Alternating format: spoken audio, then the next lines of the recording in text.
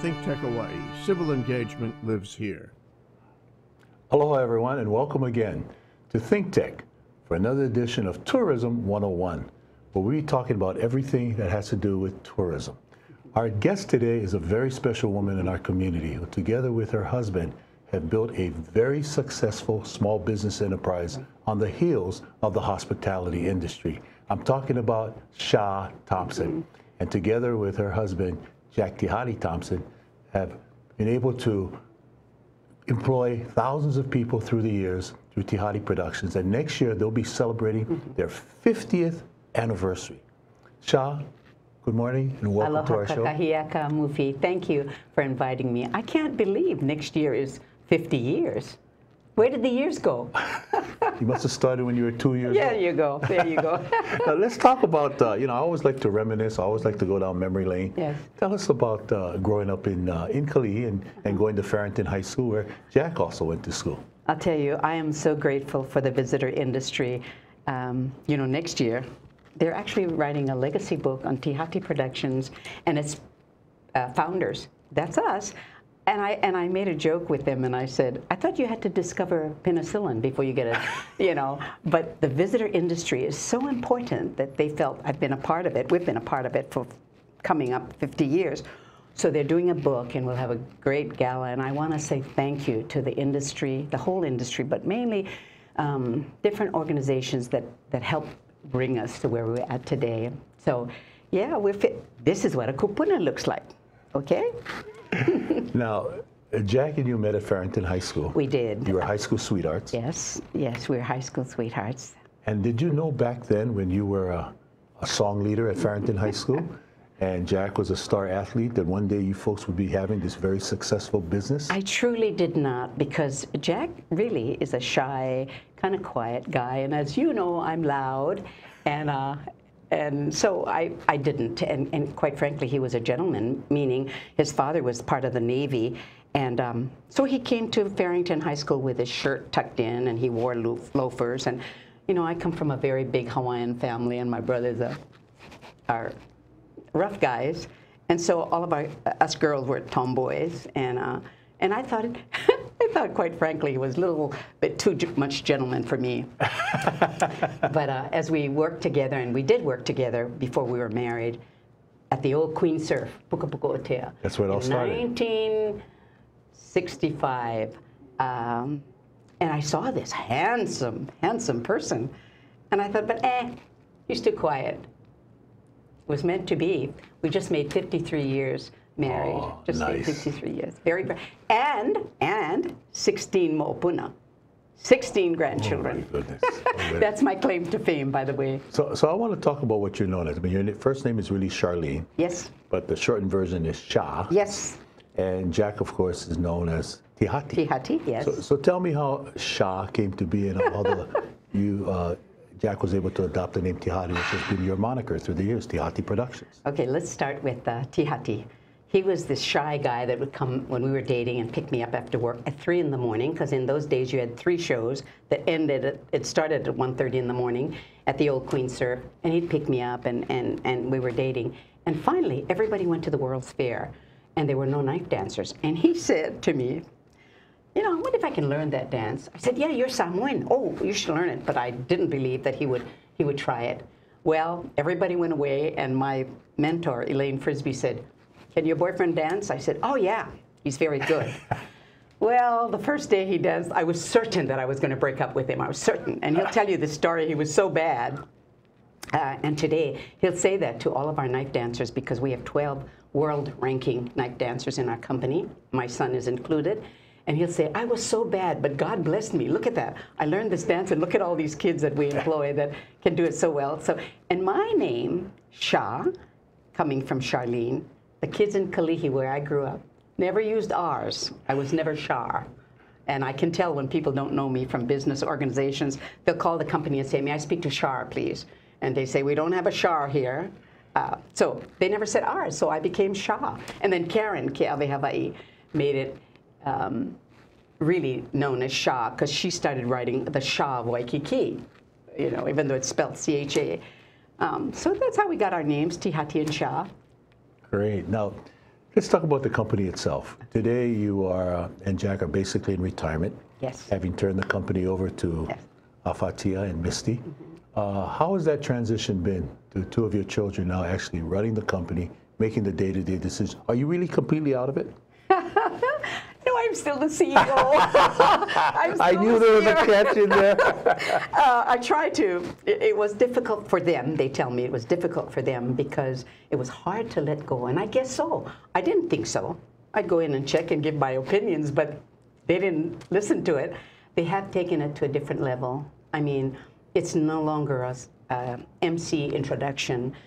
My daughter is a research specialist and this is what she went to school for. So she will research the area or the district where the shows are at, and she'll bring back all the facts of Hawaiiana and how it derived its name, uh, how the Helumoa was Helumoa before it became Waikiki. uh, Um, and so they did bring it up. When we were first married and having our babies and, and working day jobs, what my mother called real jobs, um, we, we didn't have the time. You just you needed to be cute and you could dance well and, and you dan- you worked for a lesser amount of money. Today it's a business. It's a big business because that's what they went to colleges for. That's what they went to school for. And they they look at the company different. I still I used to know every single employee. I knew every one of their children. I went to every baptism. I went to every graduation.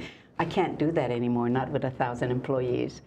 But I'm the old lady and he's the old man, and when we go, we get our enjoyment by them just saying, "Wow, we met Tihati and Cha," you know. But Misty and um, Afatia, they, they, they, they just know what to do. That's why you send them to good schools.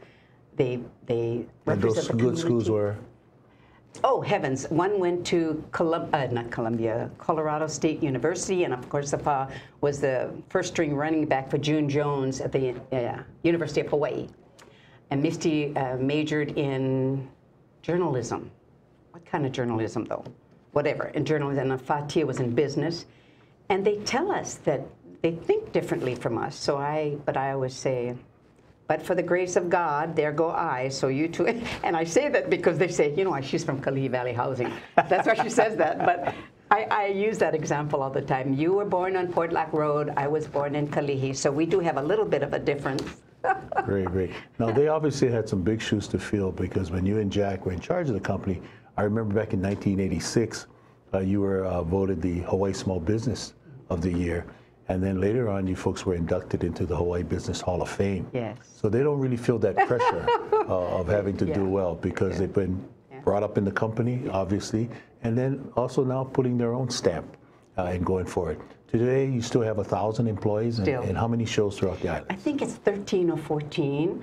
Um, our latest was the Aulani, the Disney Aulani. We opened that and Nice. we're grateful for that. Very nice. But every show is different. So what they try to do when we were doing it, we'd teach all the employees and everybody had a separate show and you knew it.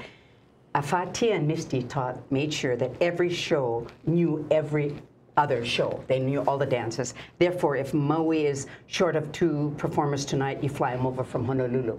So ah. it's a whole new thing. I, I mean, we worked so hard that, and I was still teaching at the time. We teach Maui and we teach a big island and we teach Kauai and then I'd say, what numbers, what, what are we doing? What is, what's happening there? But they, they have themed it and they've named every show. We were just always Tihati Productions. Tihati Productions on, at Hyatt, Tihati Production at Hilton. Ti- Today, you go to the um, Te Moana Te Moana Nui at the Princess Kaiulani, separate uh, uh, mm, format. Anyway, every show has their own identity, their own theme, because it's in a different district. And that's what they've done, the research that Misty Mokihana has done. It's very different, so we go and we enjoy it a lot. Now, in my opinion, you folks have really been blessed because you've been around for 50 years. Oh, heavens. And, you know, luau shows, wine shows, Polynesian shows sometimes come and go, Mm-hmm. uh, depending on the market, depending on the interest, sometimes depending on ownership. So, what has been the secret that has kept Tihati Productions alive and well and continues to be one of Hawaii's best small businesses? You know, Mufi, a lot of people will think this is um, a cliche, but for Jack and I, the book that they're writing, the legacy book of Tihati Productions, we said to the writer, we want to make sure that the reader understands that we understand, but for the grace of God, there go I. I, I mean, that we believe that with our whole heart and soul. I mean, two Kalihi kids, I did go back to school, and, I, and I'm going to say this. When I got my degree from um, Hawaii, the Hawaii Pacific University. and Jack drove me every night, every night. A Bachelor of Science, I might add, in Judicial Yeah. Administration. Yes, yes. When I did get it, I thought, but I, I gotten all the kudos and the Business Hall of Fame and the Small Business and, and many others already. What is this going to do for me? And honestly, for those that sit on boards, you understand. You don't get the respect until you have that pala pala. And I thought, but I used to talk them down without the pala pala. So uh, my point is, it's very important. Education, the degree, it's important. But again, but for the grace of God, because I did all of that before I got it. And, and now that I have it, nobody asked me about my uh, judicial administration thing. They still ask me about tourism. And boy, am I grateful for tourism. Have you had some mentors along the way, both you and Jack? They sort of uh, served as role models and examples for you? I did, I did. Well, Elaine Frisbee, for instance, was one. Um, my kumuhulas, uh, Rose Mauna Kea Lane, Myrtle Lee was my tourism industry um, mentor. And the reason is entertainers don't get long contracts. You get it for a year. Sometimes you don't get one. You get it for a year, and then maybe they'll renew it, and or maybe they'll just roll it over, or maybe. Um, before Myrtle Lee left the industry, she called us in and she said, "You two deserve this," and we were the first entertainment company that got a five-year contract, and and that just shot us. I mean, other hotel general managers followed suit and said, "Why would she trust these kids?" And so now with, with 13 or 14 shows, whatever it is, Myrtle started that, Myrtle Lee. And don't you also lend your expertise to training uh, folks from other countries that want to do? Oh. Remember a few years back, wasn't it Thailand? Yes, yes. 250 performers on a stage, and it was a 500, mm-mm, mm-mm, 5,000 seating uh, supper club, and they would bring you food on skates. I, I kid you not, they bring it on skates. And I remember when we left simply because there was a civil war. And I was there in the White House. No, they're not a White House. In the palace, when the king made the two opposing parties crawl and make friends. That was very impressive. But we left shortly after because the, the war was still on. But at least the king had his say with everybody chill. This is both uh, our countries. So in the visitor industry and our, and our occupation sure afforded Jack and I an awful lot of travel and experience. You know, um, we've been more than halfway around the world. Well, But I trained. I trained them down there. so- absolutely. We're going to be coming up on our, our next segment here after we take a pause for the cause. Because we're here this morning talking with Cha Thompson. As you can see, she's so full of energy. and we haven't even scratched the surface of what this iconic woman is all about. We're going to talk about her community involvement, for example, and her latest venture uh, in the tourism industry. Heard of the Blue Note Hawaii? That's Cha Thompson. We'll talk about that after we take this break. Because there, once again, we're here in Think Tech Hawaii. This show is called Tourism 101, where we delve deep uh, into the tourism industry, talk about things that are happening, especially as seen through the eyes of people that have a track record of making things happen. So happy to have Cha here this morning, and together with her husband Jack, they're coming up on their 50th anniversary of Tihati Productions in Hawaii. We'll be right back. Aloha, my name is Mark Shklov. I am the host of Think Tech Hawaii's Law Across the Sea. Law Across the Sea is on Think Tech Hawaii every other Monday at 11 a.m. Please join me where my guests talk about law topics and ideas and music and Hawaiiana all across the sea from Hawaii and back again. Aloha. Aloha. I'm Wendy Lowe, and I'm coming to you every other Tuesday at 2 o'clock, live from Think Tech Hawaii. And on our show, we talk about taking your health back. And what does that mean? It means mind, body, and soul. Anything you can do that makes your body healthier and happier is what we're going to be talking about. Whether it's spiritual health, mental health, fascia health, beautiful smile health, whatever it means, let's take healthy back. Aloha. Our guest today on Tourism 101 is Cha Thompson. Uh, we've talked about uh, the beginnings of Tihati Productions, how they met as sweethearts in Kalihi, and certainly now have developed a very successful company. But I want to delve into the other side of Cha Thompson that may not be as well known to folks outside the industry of how involved she is. I mean, here's a woman who's been on the police commission. She's been involved with the Aloha United Way. Uh, she's been involved in fundraising activities. Uh, she also had uh, accomplished so much that the Girl Scouts made her a woman distinction. Uh, she was the Distinguished Woman of the Year, uh, and also the Mother of the Year by the American Mothers Association. So, Cha, I, I know you don't like the spotlight you, but you've done so much, and I want to focus on how much you and Jack do to give back to the community. I mean, you're not two individuals that are kind of hoarding it for your immediate family. You're always looking to help. It could be schools, it could be your fellow entertainers, it could be causes uh, that are going unnoticed in the community. And when you get involved, all of a sudden everybody goes, oh, Cha's involved. You know, we got to give. Well, I think one of the awards that I appreciate the most and I'm most proud of is Mother of the Year for the state of Hawaii, because I believe everything happens in the home, everything. Um, and, and when they called me, American Mothers Inc. called me, I said, what is that? I thought every, I mean, I'm sure most mothers do exactly what I do. Yes, you do make the home lunch, and yes, you go to PTA meetings, and yes, you, but I think we owe a debt to mothers that work and our mothers. So when I hear women that don't work outside of the home and they say, oh, I don't work, I think, oh, you silly lady. Let's tell them what you do, what you actually do. Um, you know, we raised our own four children and eight more. They were either relatives and came from families that didn't have as much or, you know, anyway, we raised 12 children. And everyone, the line dulls when it comes to ch the children I bore and the hanai that we raised. They are all very close even today. And on Sundays after church, everybody comes to the Portlock Thompson's house because we have the best food on Sundays. We have a huge kongai and everybody eats and they don't go home. Uh, we watch TV or the kids are swimming or whatever and they lie out on the floor. There's bodies all over the floor. And then we have dinner together. So, um, you know, it's, it's a big deal. This is one of the reasons I appreciate the Mother of the Year award mostly. Yeah. Well, I, I think the classic scenario with the Thompson family is you don't eat till you full, you eat till you tired.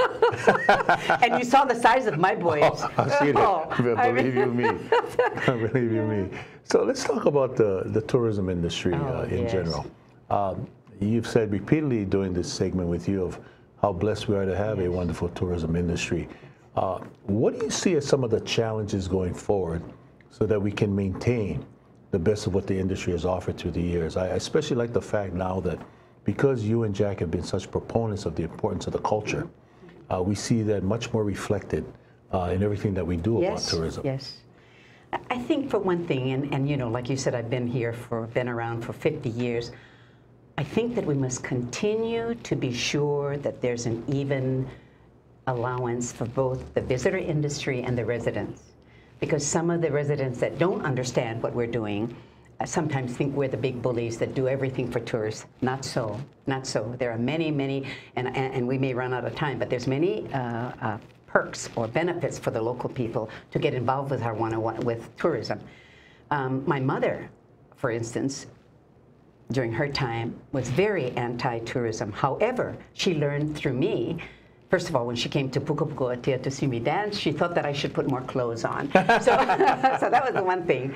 But then she realized that the benefit that, that tourism affords the local people, and it's not just jobs. Uh, we meet people from abroad that we have made, Tihati and I have made lifetime friends with and they understand our plight. We understand theirs. We must continually, the visitor industry is our responsibility to make sure that the visitor, uh, the resident is included and involved in whatever we do in tourism. First of all, we do have too many people now. I'm going to get scolded for that. No, no, no, go we- ahead. Aren't we 10 million visitors now, or 9 We're point getting close whatever? to it. Yeah, 10 million. And and so, and I say this to all the general managers. I'm with every chain: Hilton, Hyatt, Sheraton, Gra- um, you name it. I say the parking is going to kill the local person here. Now I understand that part of it too, but we must continually remember that. That's not all that. Not, that's not all that Hawaii is. Tourism. It is our number one industry, but we also have much more to share from the local residents, much more. So if you get a chance to stay in a, a resident's home, stay. We do that all the time. We invite people, and they, of course, my daughter calls our house the Grand Central Station, but people stay with us all the time, and you leave a lasting effect on those that don't really know Hawaiiana or island people. And I don't just mean the Hawaiians, because right now the Filipinos are our largest ethnicity. Right. And they are as warm and as wonderful as the Japanese people in Hawaii. Hawaii people are Hawaii, is Hawaii. So, what would be your message to government officials or tourism leaders in terms of making sure that we stay connected with the community and that we have our ear to the ground and we're listening as much as we're talking about their concerns uh, that need to be addressed uh, if we're going to have an industry that truly is going to be prosperous and advantageous for everyone who calls Hawaii home? I'm thankful for some of the legislators, not all. Some of the leaders, uh, I don't think are, are with it at this time. I don't think. I don't think they talk enough. I think they talk only to their followers, maybe only to. I think that they need to be more inclusive. I, I really don't think we're And I think that the different organizations of tourism, one of the, my favorite ones is the Aloha Visitor, Jessica, oh, shucks, but VASH. she takes care. Yeah, Jessica Bash, Lani- Bash, thank Jessica you. They do a great job and they don't try to take credit for anything. Maybe we have to go a little higher up and say, okay, you got your picture taken today, but listen to so and so that came in this morning and you guys checked them off. I really think that our politicians need to be more effective in working with all the different organizations and not try to make brownie points. You must listen to the Hawaiians. They have a plight. You must listen. I mean, I don't talk about, I don't think radically they don't have to do that, but they need to listen and not exclude people. So you need, so you're saying that they need to come out of their offices more, Ah. get out in the community, be open to criticisms. That's what I meant suggestions. about don't just come to have your picture taken. Uh, and, the, and the people know, they really know, which makes me very sad that you are not involved, but I'm not going to say those things. Let, us talk about what, what you've done to show um, the advantages of being involved with the visitor industry. One of the things that I give you and Jack big kudos on is I've seen you folks many times when a fellow entertainer, when a fellow leader in our community uh, who's going through struggles, going through hardships, whether it be for medical expenses, in some cases they've passed on, and you folks never hesitate to come up with a fundraiser where you bring the industry together, where they get to demonstrate that aloha and compassion for each other, and you put everybody in a good place by doing that. I have had the privilege of, of serving in areas like that, like a good friend that just left us, Don Ho. I ran his funeral. Um, our sweet, sweet Willie K, um, who had cancer, we had a big fundraiser for him. But more importantly, that's just the nature of Hawaii's people. I mean, the first ones to call and say, Cha, so and so is sick, or, or Cha, the school needs help, or, uh, and I, and I just go. So I think it's, honestly, I think it's a gift that I maybe was born with and love it, and, and, and don't, don't think I deserve any kudos for that. I just think that that's part of what Hawaii is all about. I'm not the only one that does that. Visitor industry is amazing. Entertainers, absolutely, always. You know, you we come in and we do a huge show, and everybody comes to see the named performers, and we raise all the money. I'm most proud that I gave Skippa Diaz $12,000 when Farrington High School football team did not have money for helmets. And we, and we gave Skipper because I'm a Farringtonian. And, and when we celebrated our 25th year, mind you, we're going on to our 50th, but when we celebrated our 25th year, we gave every cent. We gave, I don't know what it was, 50,000 to uh, St. Louis High School, we gave to Farrington, we gave to the um, Waikiki Improvement because I really believe we made all our money because of the Hotel Association. So we're going to do it again next year, and I'm so grateful that we have the privilege to do that. I mean, give money away. People need the money, and so we Well, do that. I want to say on behalf of the Hawaii Lodging and Tourism Association, we really are very grateful uh, to Tihati Productions uh, with you and Tihati leading the way and setting aside some funds many years ago that we were able uh, to now use that for what we call the Don Ho Legacy Award. I didn't even remember doing that, but I'm so grateful. That we give it to a student of Hawaiian ancestry Yeah, yes. that wants to pursue music, arts, culture, and entertainment Mm-hmm. uh, in college, and then hopefully that will be their profession. And thanks to you, we can do that every year. Well, you know, we do have a um, arts scholarship from Tihati Productions anybody that wants to get into the business. Because I don't know a business tougher than entertainment. I mean, when we started, we'd work next for next to nothing. Don Ho gave us our first break, and we were paid for 12 performers. We had 35. Called every relative we had, especially Tihati. Oh, he has relatives, and and and so. It, it's just part of our nature to help advance um, entertainment in the islands. And because of that, in essence, we're helping tourism and loving it, grateful for it. So, in parting words here, and the last question I'm asking you. So, what would be your advice to that person now who is thinking about a career uh, and has all these choices before them? And, and maybe they have an inkling to go into visitor industry, but they're thinking, ah, it's a service industry. It Uh, depends on tourists coming here. What would you say to that person? I would say, like I say to all the kids, follow your dreams, but be true to yourself. Don't try to do something that you know you're not serious about. Don't go in for just the money. Um, follow your dreams and hang in. Don't be afraid of anything. Well, as you see, we've been very blessed this uh, show to have uh, Cha Thompson. Uh, she certainly leads by example. I've known Cha and Tihati for a long time. Her exuberance, her appearance today is just as it was back in the day, and we really appreciate all that she's done. And most importantly, she's passing it on now to the next generation of leaders. I'm big on mentoring, and they've awfully, obviously have done a great job of mentoring Misty uh, and Afatia, uh, that they are going to continue the legacy of Tihati Productions. Thank you, Mufi. Happy to be here. Mahalo nui loa, and we'll see you next week. Aloha. and we have uh, our next show uh, is scheduled here on Think Tech to be able to, again, focus on tourism 101, what makes this industry tick, what we need to do in going forward to assure that all the challenges are there, that we have solutions for them to ensure that this industry remains no Mahalo.